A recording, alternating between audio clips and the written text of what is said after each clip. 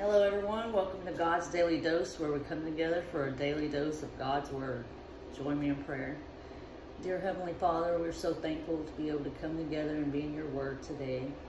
We just ask, Lord, that you lead us in spirit and give us wisdom and understanding of your Word, Lord. In Jesus' name we pray. Amen. All right, everyone. So, yesterday we started in the book of Matthew in the Gospels since Jesus is the reason for the season. And so um, we want to, I wanted to be able to, for the month of December, it's December 2nd, I wanted to be in the gospel so we can hear Jesus' story. And um, so the book of Matthew, we went through the genealogy of Jesus all the way back to Abraham. And then Luke gives it all the way back to, from Abraham, all the way back to Adam. Um, so today we're going to start in Luke chapter 2. I want to skip ahead just for today and read the birth of Jesus. So we have the birth of Jesus, chapter 2. In those days, Caesar Augustus issued a decree that a census should be taken of the entire Roman world. This was the first census that took place while Quirinius was governor of Syria. And everyone went to their own town to register. So we think of the Roman world, it was pretty big. And so they're all having to go to their birthplaces um, or the place of their ancestors to register for the census. And um, he says, So Joseph also went up from the town of Nazareth in Galilee to Judea, to Bethlehem, the town of David, because he belonged to the house and line of David. And again here, he's he's acknowledging that Jesus is, or Joseph is from the line of David. So he went there to register with Mary, who was pledged to be married to him and was expecting child. And again, he's mentioning, you know, they're not married yet, and she's already, and she's pregnant. so she's a virgin, um, the virgin pregnancy, right? So while they were there, the time came for the baby to be born, and she gave birth to her firstborn, a son. She wrapped him in clothes, or sorry, she wrapped him in cloths and placed him in a manger because there was no guest room available for them. And there were shepherds living out in the fields nearby, keeping watch over their flocks at night. And the angel of the Lord appeared to them, and the glory of the Lord shone around them and they were terrified. But the angel said to them, Do not be afraid. I bring you good news that will cause great joy for all the people. So this angel is Gabriel. He's telling them, he's bringing them good news of great joy for all the people, not just the people of Israel, but all the people. So today in the town of David, a Savior has been born to you. He is the Messiah, the Lord. This will be a sign to you. You will find a baby wrapped in cloths and lying in a manger. Suddenly, a great company of the heavenly hosts appeared with the angel, praising God and saying, Glory to God in the highest heaven, and on earth peace to those whom, it, whom his favor rests. When the angel had left them and gone into heaven, the shepherds said to one another, Let's go to Bethlehem and see the things that has happened, which the Lord has told us about. So they hurried off and found Mary and Joseph and the baby, who was lying in the manger. When they had seen him, they spread the word concerning what had been told them about this child. And all who heard it were amazed at what the shepherds said to them. But Mary treasured up all these things and pondered them in her heart. The shepherds returned, glorifying and praising God for all the things they had heard and seen, which were just as they had been told. On the eighth day, when it was time to circumcise the child, he was named Jesus, the name the angel had given him before he was conceived. So I'm going to stop there. So that's um, Luke 2, 1 through 21. And so we're just going to kind of go through this. So he acknowledges Caesar Augustus. We notice Matthew, Matthew was more, um, his, his gospel is more structured and he refers to numbers a lot. But with Luke, he um, he tends to relate his um, his interest in world history. So he mentions Augustus, and by by doing so, he's also acknowledging that the Israelites or the, Israel is still under the occupation of foreign armies, and um, so they're still waiting for their Messiah. And uh, you know we've had silence for 400 years for after Malachi until now, and um, so uh, so um, he God sends his angel Gabriel, right? So the census here um,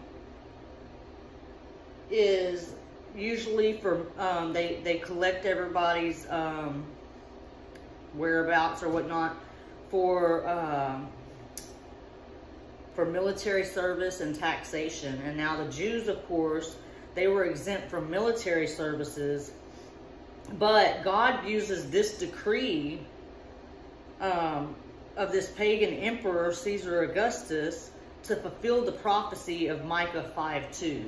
So when you get a chance, go back and look at Micah 5.2.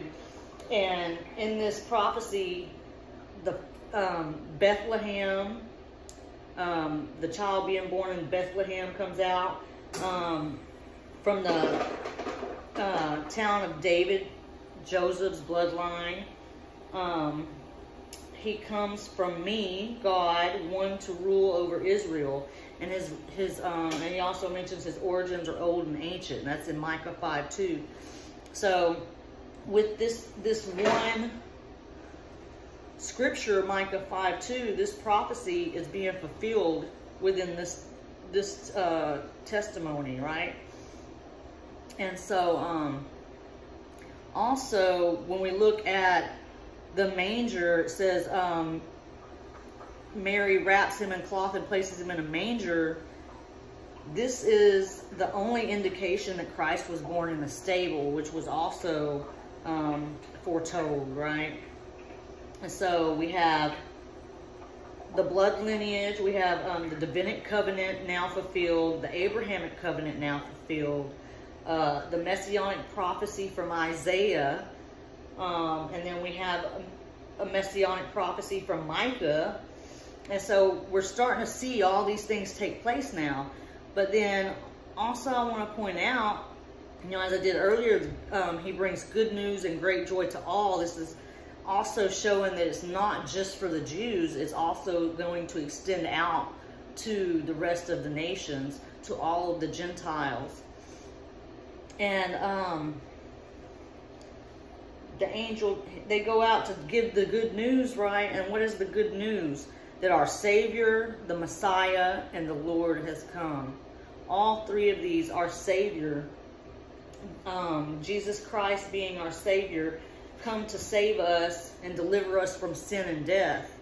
The Messiah, him being the son of David and son, son of Abraham, and then our Lord, uh, the Lord being de designated use, designated usually use uh, use of God or his in his anointing, right? So he's setting out who Jesus is already, and the first thing they do is go spread the word concerning what they had heard from Gabriel. So they go out and so if we think about it, these people have been waiting on the Messiah and so they're thinking that this is the Messiah who's going to deliver them from um they think he's going to deliver them from uh let me find where it's at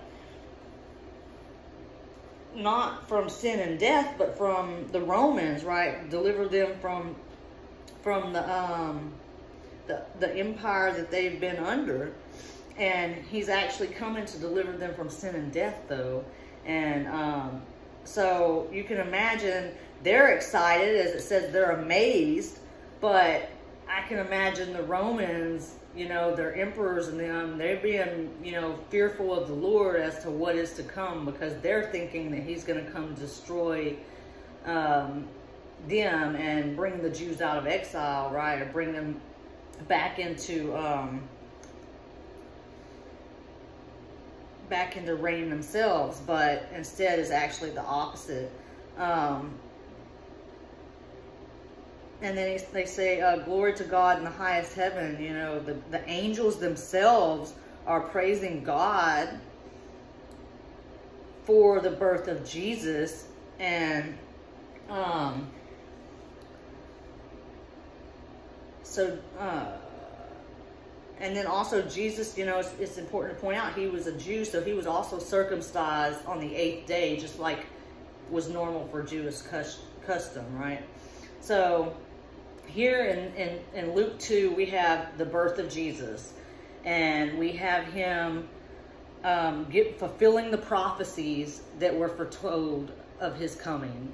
So um, tomorrow we've got we're gonna uh, go back to Matthew. I just wanted to come back to Luke to finish up the birth of Jesus because Jesus is the reason for the season, and you know we want to um, be able to know what he, what he was actually coming for, right? And so um, I just want to give our, our daily reminder. We want to fully rely on God each and every day. We want to submit ourselves to Him and trust in Him and let Him lead us. And we want to uh, seek first God's kingdom and His righteousness. And we want to be in the Word daily, but we don't just want to know it. We want to live it, love it, and obey it. And we want to pray always and about everything. So let me pray us out. Dear Heavenly Father, we thank you for giving us this word tonight. And we just pray, Lord, that you continue to work through us and allow us to live your live your word, love your word, and obey your word, Lord. In Jesus' name we pray. Amen. All right, I will see y'all tomorrow.